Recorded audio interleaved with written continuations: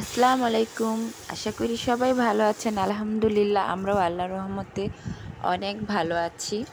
আজকে আমি রান্না করব মাছের মাথা দিয়ে মুড়ি গন্ড এই জন্য প্রথমে আমি বড় মাছের মাথা নিয়েছি আর এটাকে ফ্রিজ থেকে বের করে ভালোভাবে পরিষ্কার করে দিব মানে বরফ হয়ে আছে।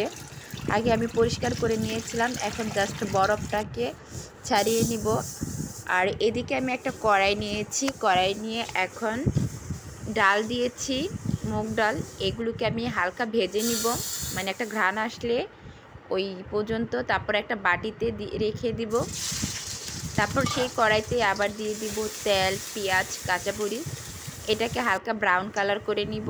তারপরে এক একে দিয়ে দিব সব মশলা মানে হলুদের গুঁড়া, মরিচের গুঁড়া পরিমাণ মতো।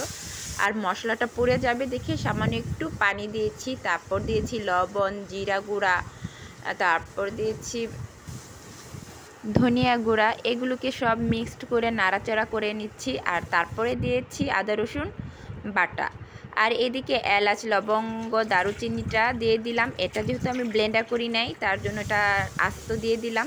তারপরে তো মাখানো শেষ মানে কষানো শেষ। কষানোর পরে এখন আমি মাথাটা দিয়ে দিলাম। দুইটা মাথা নিয়েছিলাম রান্না করার জন্য। কিন্তু মুড়িগণ্ড কেউ বেশি একটা পছন্দ করে না আমার ঘরে। আমি আর আমার মেয়েটাই বেশি পছন্দ করি, তার জন্য জাস্ট একটা মাথা দিয়ে আমি রান্না করব। এই তো নাড়াচাড়া করে একটু পানি দিয়ে আবার মেখে তারপর ঢাকনা দিয়ে ঢেকে রাখব কিছুক্ষণ, কষাবো এভাবে, যেন একটা কাঁচা গন্ধটা না থাকে। এই তো, নাড়াচাড়া শেষ করছি, আর ভালো করে নাড়াচাড়া করে আবার ঢাকনা দিয়ে ঢেকে দিলাম।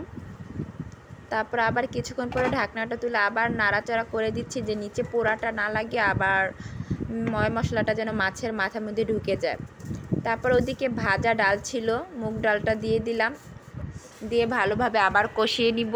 আমি কিন্তু আমার মন মতো করে রান্না করি আর আমার স্টাইলে আমি কথা বলি। প্লিজ কেউ কিছু মনে করবেন না আর মাইন্ড করবেন না। প্লিজ একটু কষ্ট করে দেখে নেবেন। এই তো ভালো করে নাড়াচাড়া করে নিচ্ছি। এদিকে আবার ঢাকনাটা দিয়ে তুলে নিলাম। এখন এটাকে নাড়াচাড়া করতে করতে ভেঙে ফেলেছি। আমি পুরাটা ভাঙবো না, কারণ বেশি ভাঙা ভাঙি করলে মানে কাটাটা বাজে, আমার ভালো লাগে না। তাই আমি একটু আস্ত আস্ত রাখব মাছটাকে। তাই এই তো মুড়িঘণ্ট করা প্রায় কষানো শেষ। এখন পরিমাণ মতো পানি দিয়ে দিব। পানিটা দেওয়ার পরে আমি ভালো করে নাড়াচাড়া করে নিব। নাড়াচাড়া করে আবার আমি ঢাকনা দিয়ে ঢেকে রাখব। এই তো। তারপরে এই তো বলক চলে আসবে। আমাদের রান্না প্রায় শেষ পর্যায়ে। সবাই ভালো থাকবেন। আর আমাদের জন্য দোয়া করবেন। আসসালামু আলাইকুম।